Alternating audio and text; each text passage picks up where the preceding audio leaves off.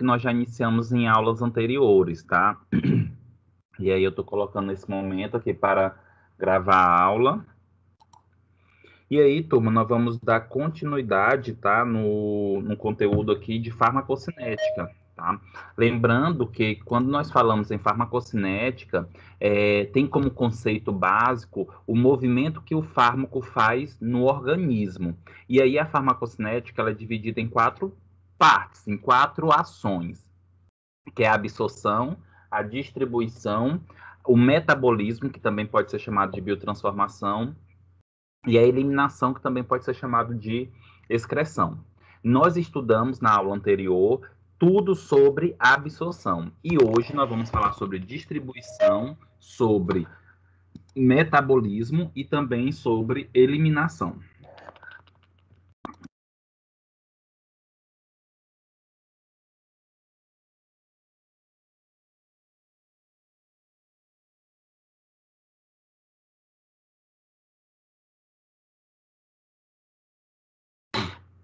Gente, então, nossa segunda parte da farmacocinética a ser estudada é a distribuição. Turma, quando nós falamos em distribuição, uma das coisas que a gente acaba entendendo é que é quando o medicamento ele é distribuído no organismo. Perfeito. Mas olha só, quando o medicamento ele entra na corrente sanguínea, que ele é distribuído para outros locais ou que a substância só fica no sangue circulando pelo corpo, isso não é chamado distribuição. Isso é chamado circulação. Distribuição é o ato da substância sair de dentro do vaso e ir para o tecido, exercer a sua ação e, consequentemente, depois que exerce a sua ação, voltar do tecido e ir para dentro do vaso sanguíneo. Isso sim é distribuição. E nós temos um conceito bem mais elaborado em relação a isso. Distribuição é o processo pelo qual um fármaco reversivelmente abandona o leito vascular e entra no interstício, que é o líquido extracelular e ou nas células dos tecidos, tá? Quais são os fatores que influenciam a distribuição? Turma, olha só, todas as etapas, elas têm fatores que influenciam esta etapa, tá? Consequentemente, quando eu falo fatores que influenciam a etapa, a distribuição, o metabolismo, a excreção, isso está associado ao quê? Isso está associado a uma característica de favorecer o aumento ou a diminuição desses aspectos. Quando eu falo fatores que influenciam a distribuição, significa que eu estou apontando que pode tanto aumentar o, a distribuição como diminuir a distribuição. E dentre esses fatores, nós temos o seguinte, da distribuição, tá? a, o fluxo sanguíneo, a permeabilidade capilar, a ligação com proteínas plasmáticas e tissulares e a hidrofobicidade do fármaco.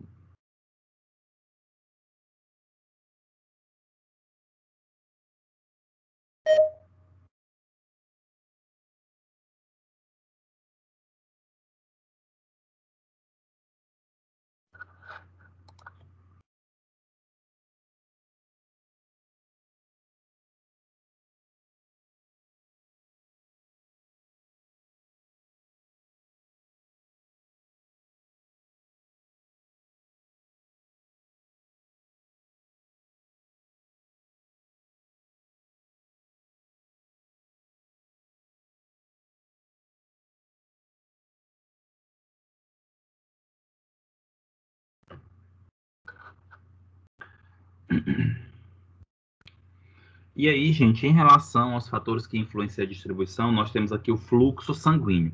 Quando a gente fala fluxo sanguíneo, é porque o sangue, gente, a circulação, ela influencia na distribuição. Quanto maior ou mais for a circulação, tá? Consequentemente, maior será a distribuição, tá? Porque circula-se mais a substância. A permeabilidade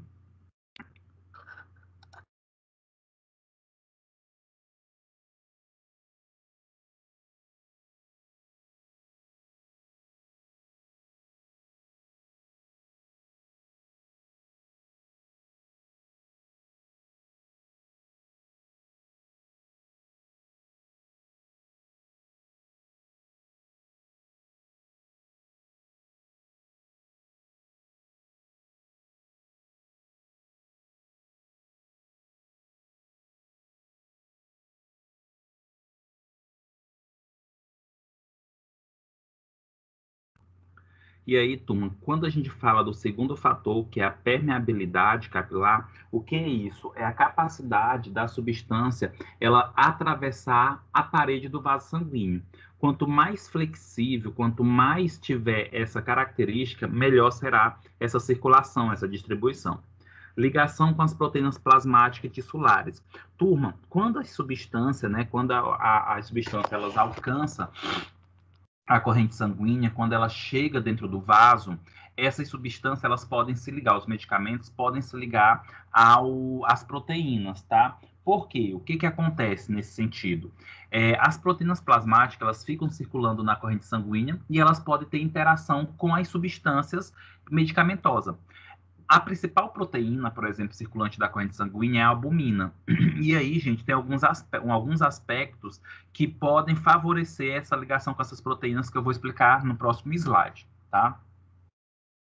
Outro ponto também, gente, é a hidrofo hidrofobicidade do fármaco.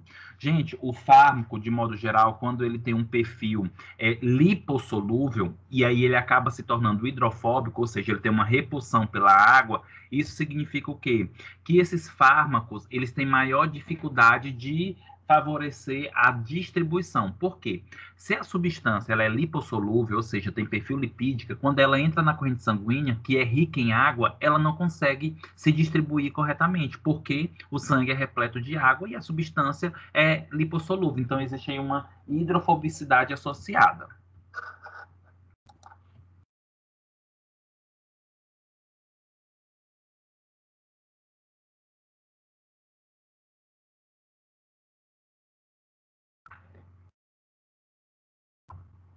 Então, dentro dessa característica aqui, turma, associado à, à distribuição, um dos pontos importantes a relatar para vocês é a ligação com as proteínas plasmáticas. Gente, os fármacos, ao alcançar a circulação sanguínea, lembrando, se o fármaco alcançou a corrente sanguínea, um, um, fator, um dos fatores é que ele foi absorvido.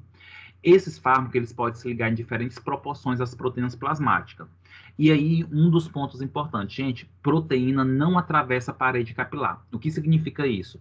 A proteína é uma macromolécula, consequentemente, ela é grande. Então, ela não consegue sair de dentro do vaso e ir para o tecido que é o que a substância deve fazer. A substância ela deve sair de dentro do vaso e ir para o tecido agir.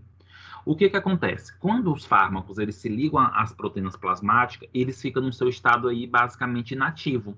Por quê? Porque ele não consegue exercer a sua função enquanto estiver ligado à proteína plasmática. O que considera-se uma situação de reserva. É como, que é, como aquela substância que está ligada à proteína plasmática, ela se fosse uma substância de reserva. Porque uma hora ou outra aquela substância vai desligar-se da proteína plasmática e vai conseguir atravessar o vaso sanguíneo, tá? E exercer a sua função. A principal proteína plasmática encontrada né, na corrente sanguínea e que tem muito essa interação da substância com essa proteína é a albumina, tá? E a albumina ela tem uma preferência de ligação com substâncias. Essas substâncias, se forem ácidos fracos, ou seja, é, ou, ou drogas hidrofóbicas, terão uma afinidade maior de se ligar à albumina.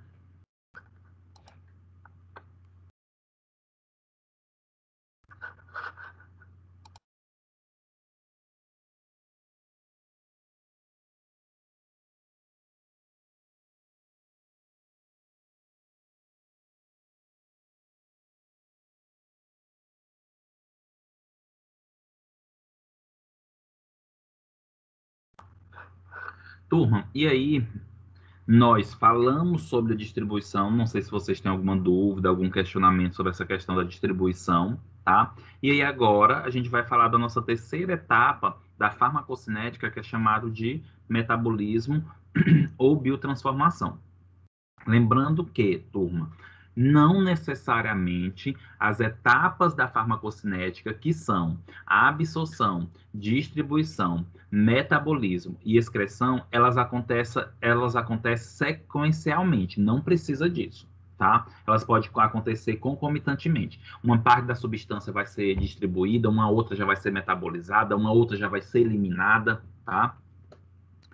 Gente, o que é o metabolismo? Uma definição bem simples de metabolismo ou biotransformação é que é quando uma substância ela muda a sua estrutura química. tá? Por alguns mecanismos internos.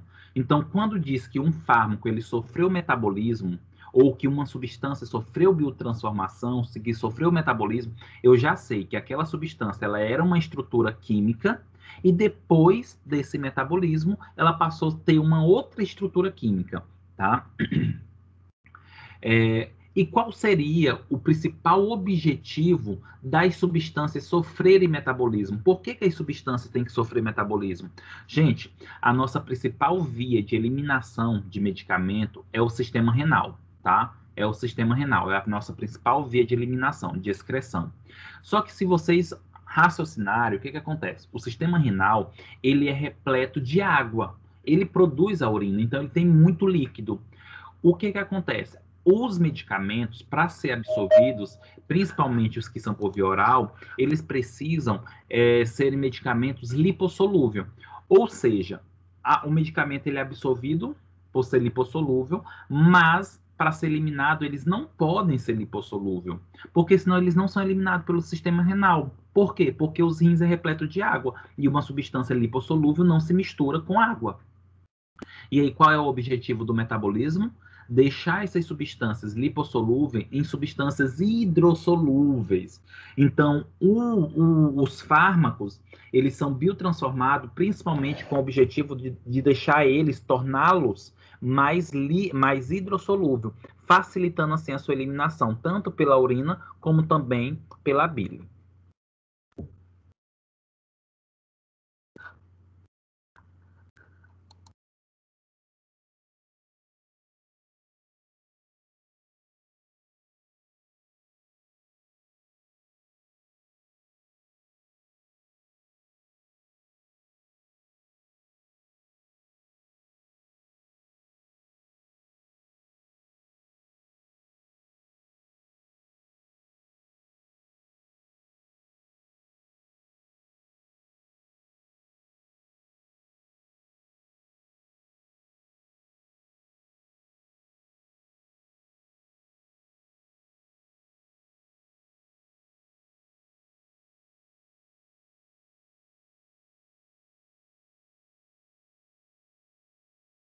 Professor?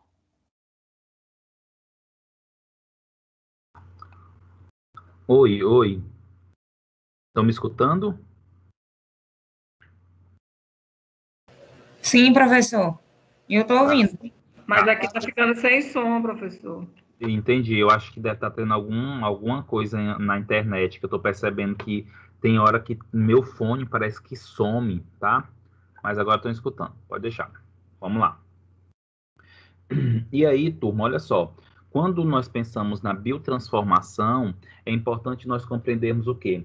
Que o foco da biotransformação é ajudar na eliminação das substâncias, principalmente porque as substâncias elas têm perfil lipossolúvel e acabam não sendo eliminados pelo sistema renal, porque o sistema renal é, é hidrossolúvel, né? Pela presença aí da água em si. Outro ponto, gente, é, e isso facilita a excreção. Um dos pontos importantes, o nosso corpo, de modo geral, tem vários órgãos, ou praticamente todos os órgãos, eles conseguem metabolizar substância. Não significa que toda substância é metabolizada por todo o organismo, não. Tem substâncias que é metabolizado só por um órgão, tem substâncias que são metabolizadas por vários órgãos, tá? Mas, de modo geral, nós temos vários tecidos e órgãos que metabolizam as substâncias, seja o fígado, o rim, o intestino, o próprio pulmão, o sangue, tudo pode metabolizar a substância. Mas eu destaco para vocês aqui, gente, o órgão fígado. O fígado, ele é o principal órgão metabolizador das substâncias. Por quê? Porque o fígado, gente, ele reúne uma grande quantidade de enzimas metabolizadoras, que são as enzimas responsáveis pelo processo de modificação estrutural da substância. Em outras palavras, as enzimas responsáveis pelo processo de metabolismo, tá? Gente, e essa questão de metabolismo, ela é muito importante nós compreendermos porque isso está muito associado a várias interações medicamentosas, tá? Acontece através desse processo de metabolismo. Apesar de eu estar comentando aqui para vocês que o foco do, da, da, metabolização é deixar as substâncias lipossolúveis em substâncias mais hidrossolúveis para ser eliminadas, nós temos aqui uma exceção. Aliás, nós temos exceção para isso. Não sei se vocês se recordam, mas lá do nosso conteúdo inicial, eu dei, eu dei a definição do que seria prodroga, né? Prodroga, gente, é uma substância inativa que precisa sofrer metabolismo para se transformar na substância ativa, tá? Então, o metabolismo, nesse ponto aqui, ele, nesse ponto aqui, ele tem um outro aspecto, tá? Ele tem um outro processo, que é o que? Deixar as substâncias inativas em substâncias ativas, que é o caso da prodroga. Um exemplo de prodroga, eu posso citar aqui para vocês o enalapril. O enalapril ela, ele é uma substância antihipertensiva, tá? Que é da família, né, da classe do, do captopril. Quando a pessoa toma o enalapril, a pessoa está tomando ali, gente, uma substância que não tem efeito. Mas quando a, o enalapril ele passa por modificações, que é o metabolismo, ele se transforma na substância ativa. E isso acontece, turma, com vários medicamentos tem várias substâncias que são prodrogas. Um exemplo, o, um outro exemplo, o omeprazol, né, que é o inibidor da bomba de próton, que é utilizado aí para gastrite, úlcera. O omeprazol também é uma prodroga. Quando tu toma o omeprazol, tu tá tomando uma substância inativa, mas que pelo processo de metabolismo, principalmente é, estomacal, ele se transforma na substância ativa. Essa imagem, turma, é só para ressaltar, né, o que eu comentei para vocês em relação a esse aspecto. Nós temos vários locais de metabolização, rim, sistema respiratório, trato gastrointestinal, sangue, mas principalmente o fígado, devido aí à grande quantidade de enzimas metabolizadoras. Turma, só um momento.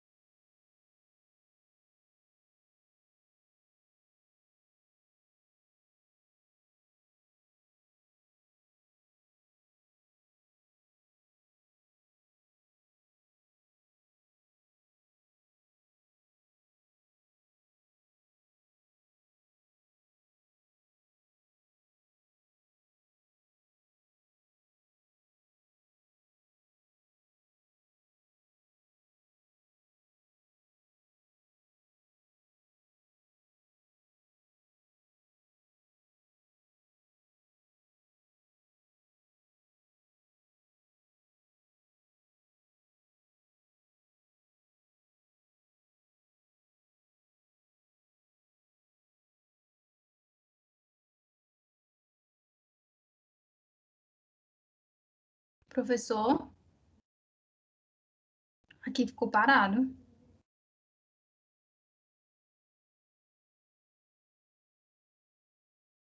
Aqui também, eu não estou conseguindo entender isso, não. Eu pensei que fosse só comigo. Não, acho que o problema é lá com o professor, porque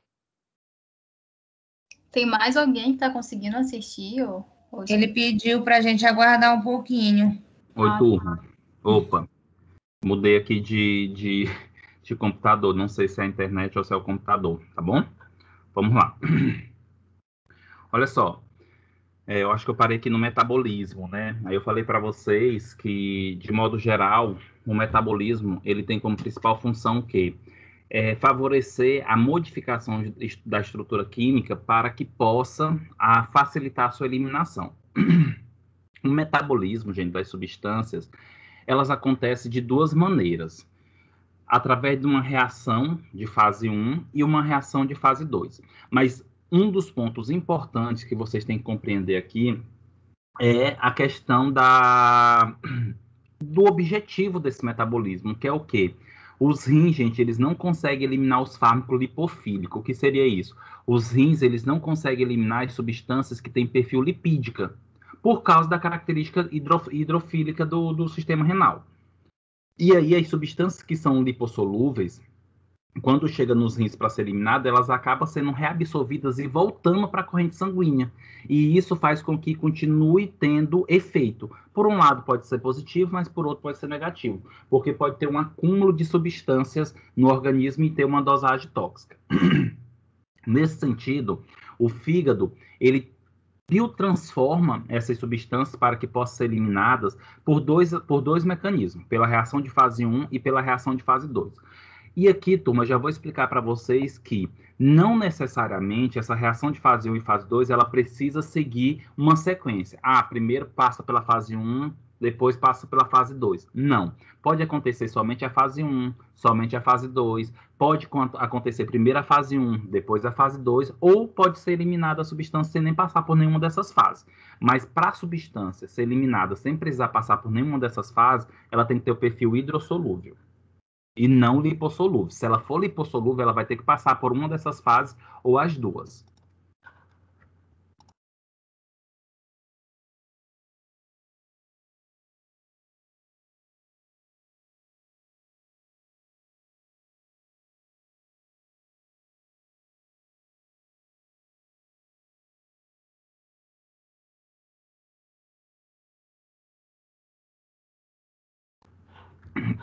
E aí, turma, a primeira fase, né, que é a fase 1, ela, ela é chamada também, gente, de fase de funcionalização ou fase enzimática. Por quê?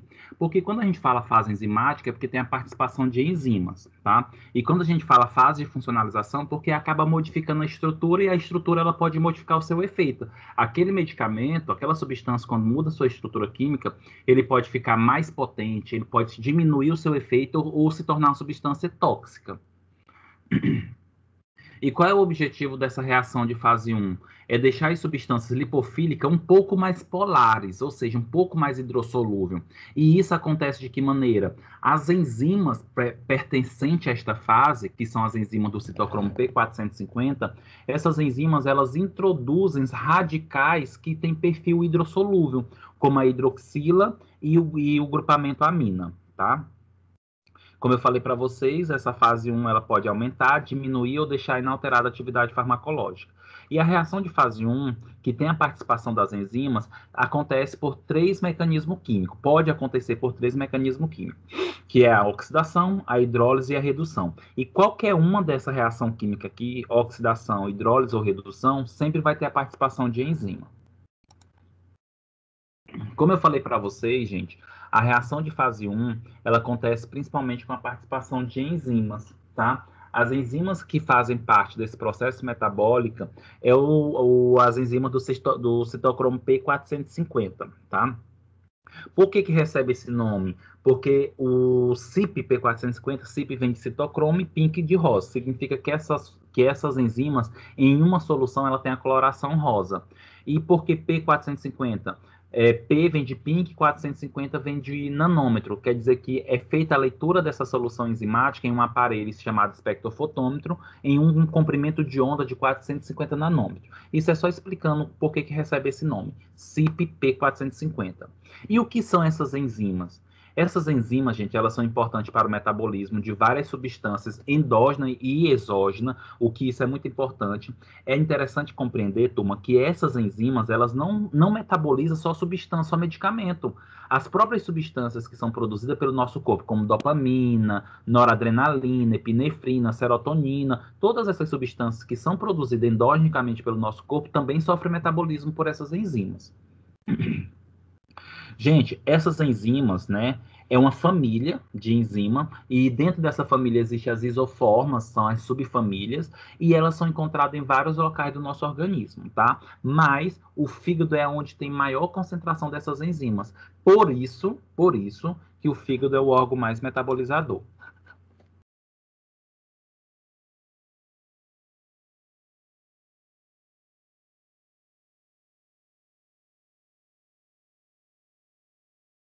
Só um momento, turma.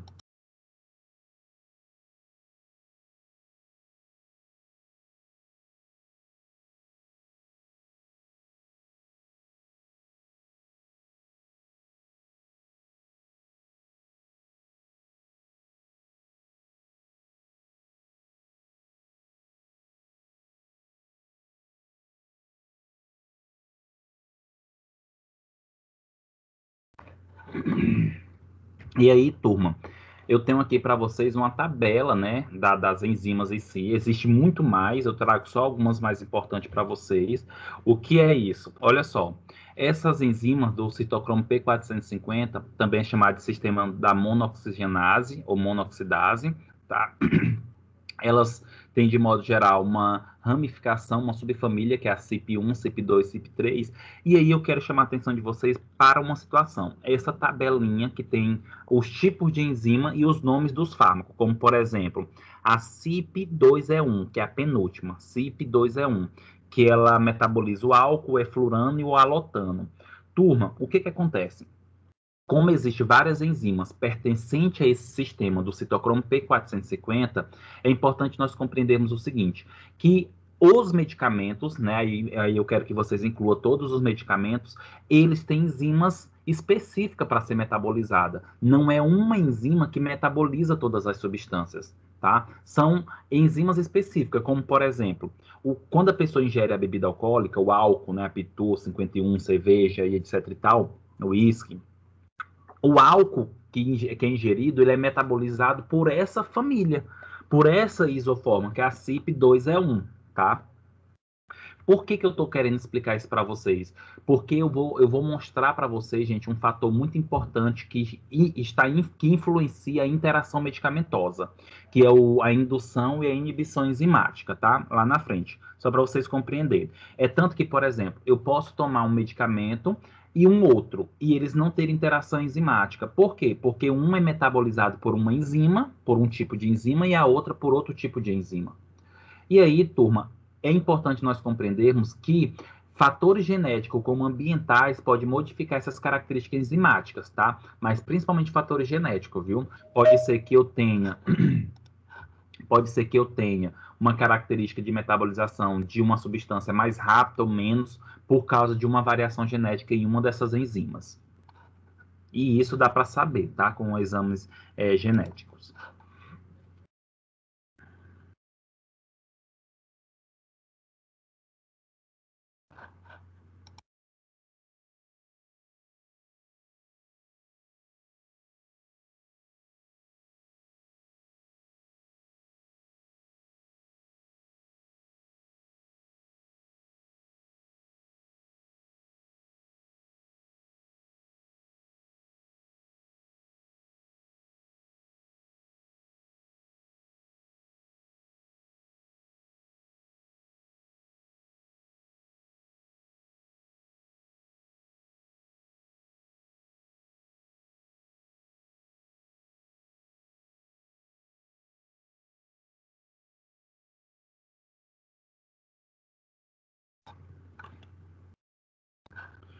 Turma, E aí nós vamos para a reação de fase 2, tá?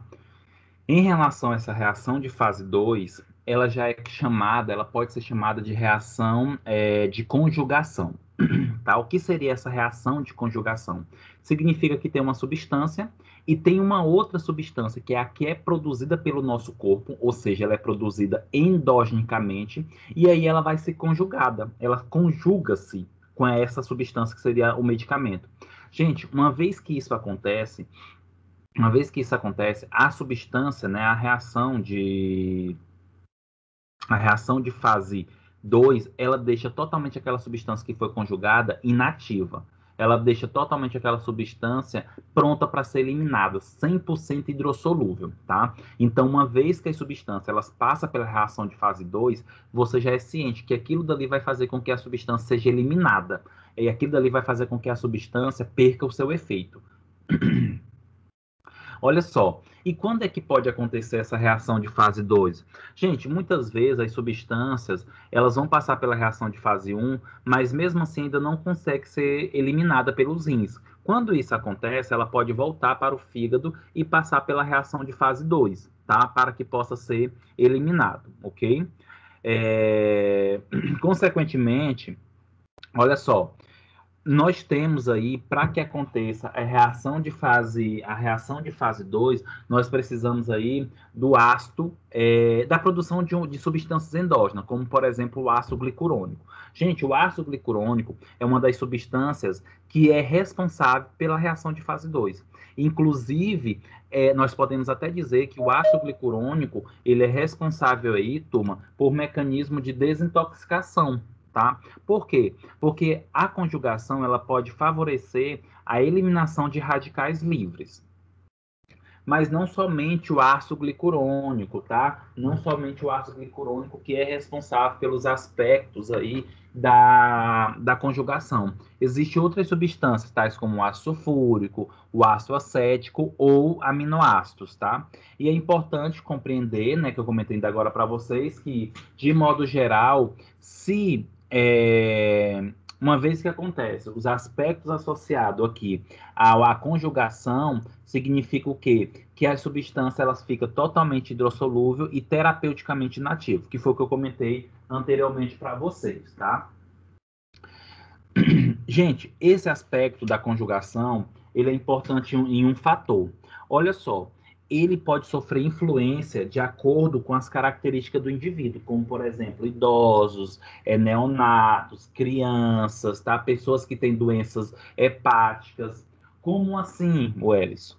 Turma, é, por exemplo, os neonatos, eles são deficientes nesse sistema de conjugação. Se eu sei que os neonatos têm deficiência, eu tenho que tomar muito cuidado é, no, nas medicações, nas substâncias que vai ser prescrita para esse neonato, porque possivelmente essa substância, por não ter uma conjugação tão adequada, ela vai acabar demorando de ser eliminada. E aí eu não posso dar altas doses, porque essas doses podem ser cumulativas e se tornar tóxica para a criança.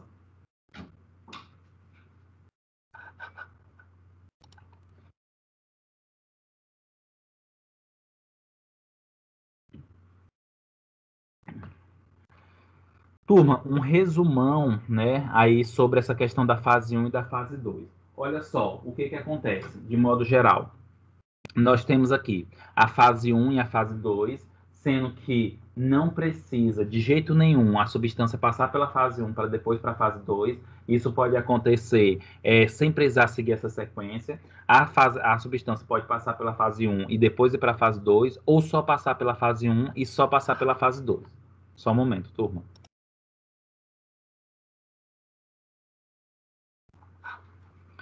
Turma, consequentemente, a fase 1, ela é a fase enzimática que eu falei para vocês, e aí tem as reações químicas que, possa, que podem acontecer, que são as reações de oxidação, redução, hidrólise, tá? E a fase 2 é a reação de conjugação. E o principal substância que é, participa desse processo de conjugação é o ácido glicurônico. Resumindo a fase 1. A fase 1, gente, é uma fase que modifica a estrutura da substância, sendo que isso pode acontecer por essas reações químicas. E quando acontece a fase 1, essa, essa substância que foi modificada, ela pode se tornar mais ativa, inativa ou ser produzido um radical tóxico aí, uma substância tóxica, tá? E quando acontece, de modo geral, a fase 2, é, que é a de conjugação, aquela substância ela fica 100% hidrossolúvel e é eliminado e não tem mais efeito nenhum, nem tóxico, nem ativo, nada. Alguma pergunta, turma? Algum comentário?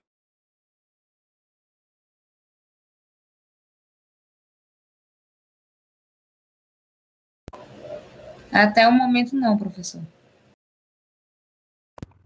Ótimo, tudo bem. Só um momento.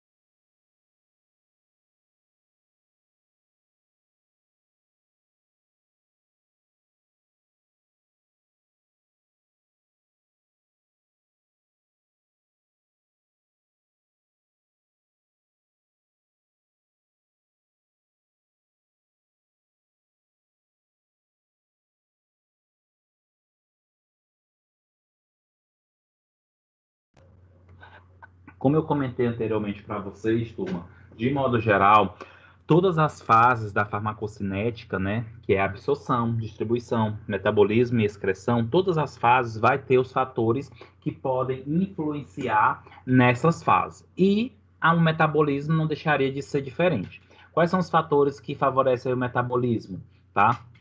Nós temos aí o polimorfismo genético, nós temos o sexo, a idade, a indução enzimática e a inibição enzimática, que são dois pontos mais importantes que eu quero comentar para vocês, inclusive tem slide específico para isso, e patologia. O que seria essa questão do polimorfismo genético? Turma, é, o que, que acontece? Pode ser que tenha indivíduos que tenham perfil genético, né, de gene, que possa favorecer que seja metabolizada uma substância mais rápida ou não, tá? E isso vai influenciar, turma, nos efeitos. Em relação ao sexo, existem medicamentos, substâncias que podem ser diferentes do seu metabolismo, ou mais rapidamente ou lentamente, em homens ou mulheres, tá? A idade, é, geralmente os idosos eles têm um metabolismo mais lento, por isso que as doses precisam ser modificadas, precisam ser pensadas, porque os idosos já estão é, com uma carga enzimática no fígado já bem debilitada, devido, a, devido ao processo de envelhecimento. Outra situação é, que influencia esse metabolismo são patologias. Gente, se eu falei para vocês que o principal local de metabolismo, de metabolização é o fígado, se o fígado tiver com algum problema, com alguma doença, vocês podem ter certeza que esse processo metabólico vai sofrer influência, tá? Como, por exemplo, carcinoma hepática, cirrose, hepatite, tudo isso aí pode influenciar na, na metabolização. E, consequentemente, os dois aspectos mais importantes desse contexto, que é a indução enzimática e a inibição enzimática, tá?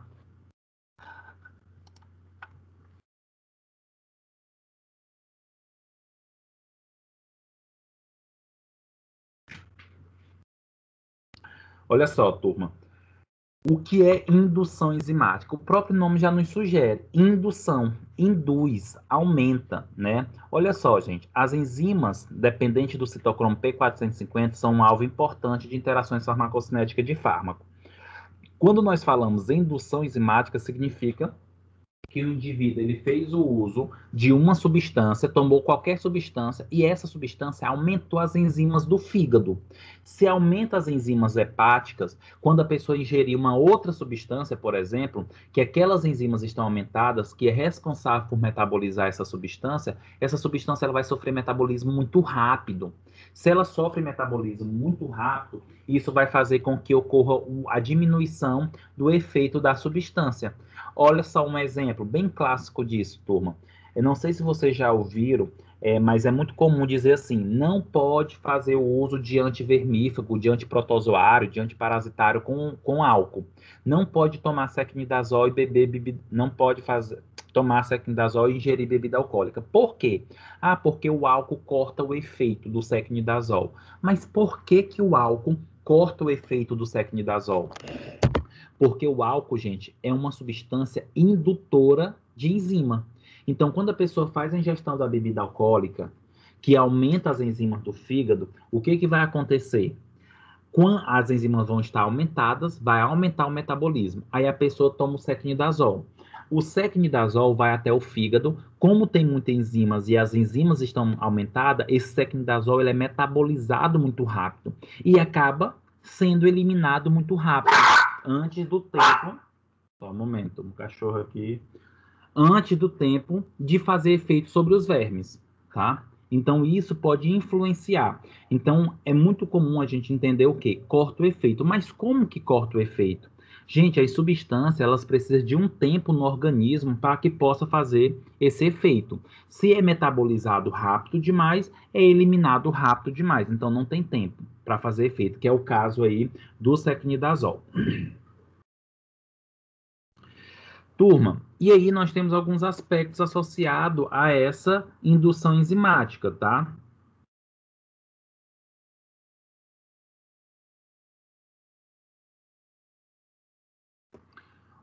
Olha só, quando se tem a indução enzimática, isso significa o quê? Que aumenta a velocidade de biotransformação hepática da droga, então a substância, quando chega na, no fígado, ela é metabolizada muito rápida. Se, se é metabolizada muito rápida, aquela substância ela passa a ser uma outra substância, que nós chamamos aí de metabólito. Então, aumenta a produção de metabólito, aumenta a depuração hepática da droga, ou seja, a substância ela é metabolizada muito rápido pelo fígado e, consequentemente, sai desse fígado diminui a meia-vida sérica da droga. O que é meia-vida? Gente, meia-vida é o tempo que uma droga leva para diminuir pela metade a concentração no sangue. Então, por exemplo, se eu tenho uma droga que ela fica 8 horas na corrente ela, ela a meia-vida dela é 8 horas, se ela sofre metabolismo acelerado, ela não vai ficar mais 8 horas, ela vai ficar menos. Isso, 4, 3, 5. E se ela fica menos, ela vai diminuir o seu efeito, que é o que acontece aqui, ó diminui as concentrações séricas da droga livre total. Ou seja, se não tem droga na corrente sanguínea para circular, para ser distribuída, também não vai ter efeito. Outro ponto, gente, é a diminuição dos efeitos farmacológicos, né? Principalmente se os metabólicos forem inativos. Porque se metaboliza muito rápido, muda-se a estrutura muito rápido e essa estrutura pode não ter efeito. E aí não tem o efeito farmacológico esperado.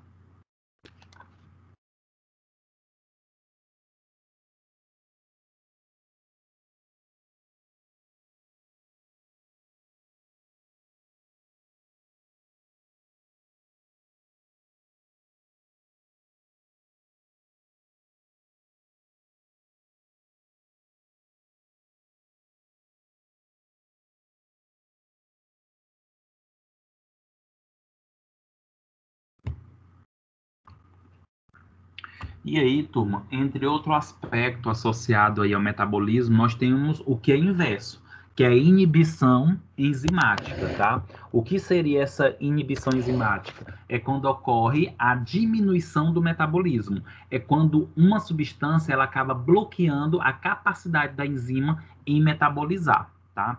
Então, gente, a inibição enzimática das iso, isoenzimas, CYP, é uma fonte importante de interações de fármacos que leva a efeitos adversos graves. Inclusive, turma, deixo aqui relatado para vocês que a indução e a inibição são muito passíveis de interações medicamentosas. E, sem dúvida, é onde mais acontece. Tá? Interações medicamentosas. Por isso que esse negócio de tomar muito medicamento ao mesmo tempo pode levar a essa questão aqui dessa interação.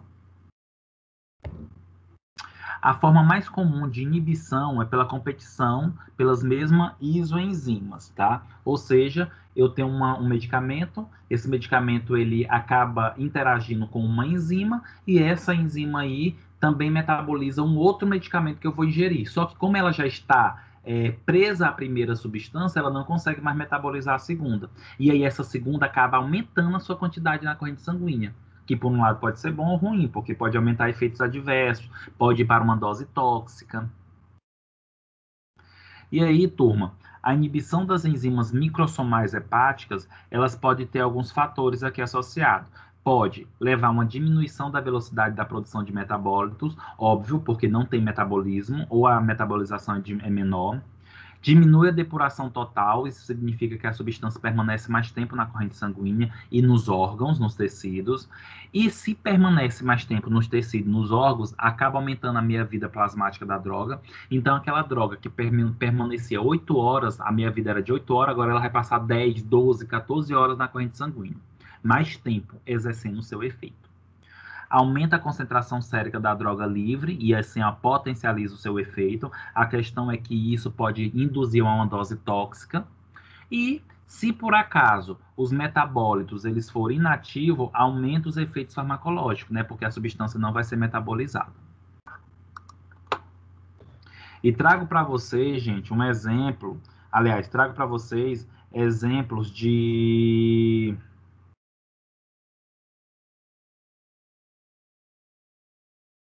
trago para vocês exemplos de substâncias que podem ser consideradas indutoras e inibidoras enzimáticas, tá? As indutoras, nós temos aqui álcool, omeprazol, fenobarbital, rifampicina. Gente, isso aqui são alguns exemplos, tá? Existem N substâncias que têm essa característica aqui, tá? Inclusive, é por isso que eu falo muito para os alunos. Gente, faça, quem tiver oportunidade, faça farmácia clínica, farmacologia clínica, é, especialização para aprender cada vez mais essas características de medicamento, porque isso daqui é só na prática, tá? Estudando, fazendo relação de substância com substância, analisando medicamento, interações entre substâncias dos pacientes, para aprender literalmente essa, esses efeitos.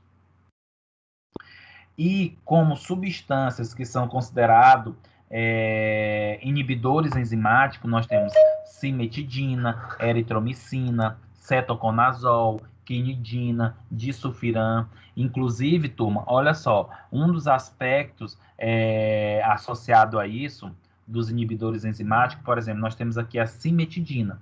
Gente, a cimetidina ela é um fármaco é, bloqueador dos receptores H2 de histamina e é responsável por, pelo tratamento de gastrite, úlcera, etc e tal ela era muito difundida comercialmente e hoje já não é tão utilizada. Por quê? Porque a cimetidina, por ser inibidora enzimática, ela acabava levando a muita interação medicamentosa. É tanto que hoje quase não se é usada, principalmente a nível comercial, é mais a nível hospitalar, por causa das interações que poderia acontecer, que podem acontecer.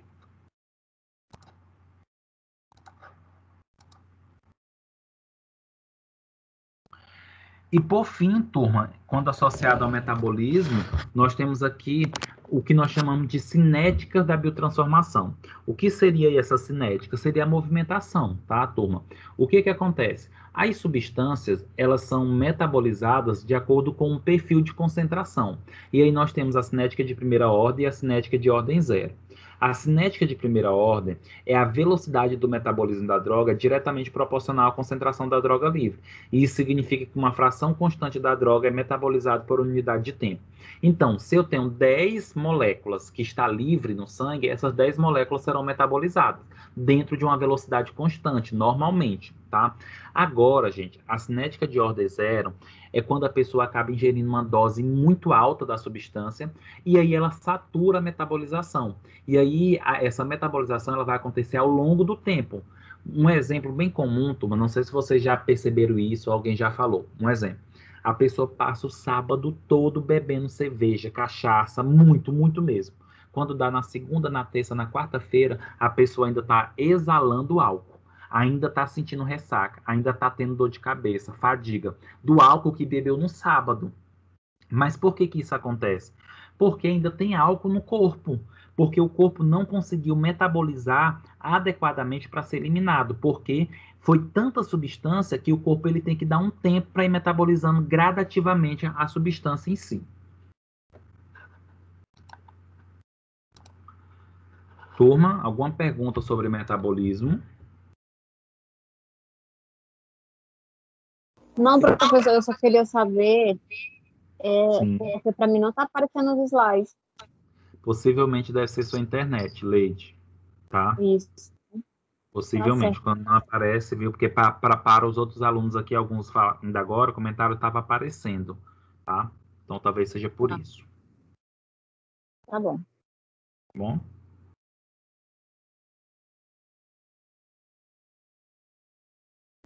Turma, é, se vocês não têm nenhuma dúvida, nenhuma, nenhum questionamento, a gente encerra a nossa aula de hoje.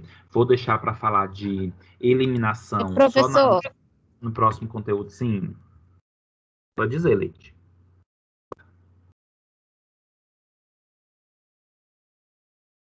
É, professor, eu só, eu só uma dúvida que eu, que eu tenho. É à por que o, aque- aque- aquela medicação binotal, ela saiu do mercado? Por que, que o binotal saiu do mercado? Sim, É isso? isso. Olha só, é, quando a gente pensa, por exemplo, em alguns fármacos, a primeira coisa que nós temos que entender é que tipo de substância é. Quais são os fatores que podem fazer com que os fármacos saiam do mercado? Algum problema que ele pode ocasionar, que pode ser um efeito adverso um pouco que grave, vamos dizer assim. Outro, porque já não está tendo tanta serventia, ou não está sendo vendido tanto, ou porque, por exemplo, é, tem, surgiu um outro que é melhor do que aquele e ele passa a ser em desuso. O binotal, ele é ampicilina. A ampicilina, ela estava tendo muita resistência. As bactérias, que no caso a ampicilina matava, causava muita resistência. Já estava tendo muita resistência, então ela não estava fazendo tanto efeito. Então a indústria se viu não mais necessário produzir o binotal porque já tinha outros antibióticos melhor e as bactérias já estavam bem resistentes à ampicilina. Ah, tá bom, André. Obrigada, Entendeu? tá? É igual, por exemplo, a ranitidina. A ranitidina, quanto tempo foi utilizado? Quantas pessoas usavam ranitidina para gastrite úlcera? Foi retirado do mercado, porque recentemente, né, o ano passado, observou o risco da, da formação de câncer, né, de ter câncer com o uso da ranitidina. Então, assim, isso com o tempo, os fármacos estão no mercado, mas eles podem sair. Outra coisa também, que eu posso dar exemplo, Leide, muitas vezes a indústria também ela tira o fármaco do mercado como um jogo de marketing porque as pessoas ficam desesperadas porque não tem mais aquela substância e volta mais caro e as pessoas dão um valor a mais. Mas isso são poucas, foram poucos medicamentos que aconteceu isso, tá? O do binotal, acredito eu, porque já estava tendo muita resistência às bactérias e já não estava servindo mais, tendo outros fármacos melhores. Entendi. Mas, Obrigada. professor, ainda tem a ampicilina normal, entendeu? Não tem como Mas- nome binotal, mas a ampicilina tá vindo normal, que é o mesminho. Isso, isso mesmo. Aí o que acontece? Possivelmente a indústria que produziu o Benotal, ele já, se eu não me engano, até a EMS, acho que é a MS, é a MS, tá? Viu que e- a- o Binotal não estava trazendo lucro para ela, mas as outras empresas, por exemplo, pode ser que os outros laboratórios pode ser que continue, tá? É um dos É, exemplos também. Vo- como você está falando, Mauricé, mas você está usando em hospital, vamos dizer assim, é em hospital comercial. Ainda vem comercial? Uhum. Normal. Então, perfeito. Então, possivelmente a MS retirou o binotal porque ele, o binotal já não estava sendo vendido tanto e não estava trazendo tanto lucro para ela. Mas continua vendendo a ampicilina de outros laboratórios. sim, pode sim. Agora que saiu foi a sulfadiazina. Saiu Sim, saiu. porque a sulfadiazina, ela já não tem mais efeito antibacteriano praticamente para nada, mas até um tempo, um tempo desse ainda vendia, né? Mas já não Vendia, tinha mais praticamente nada. Aí eu acho que a indústria percebeu que não compensava mais. Aí é incrível que é, é, é aí que o povo fica todo doido procurando. Eu quero sulfadiazina, eu quero sulfadiazina. A quantidade aumenta muito quando, ah, Quando o medicamento sai. Isso. E tomara que não volte mais, porque ela acaba só aumentando mais a resistência, mas a efeito mesmo ela não tem, não.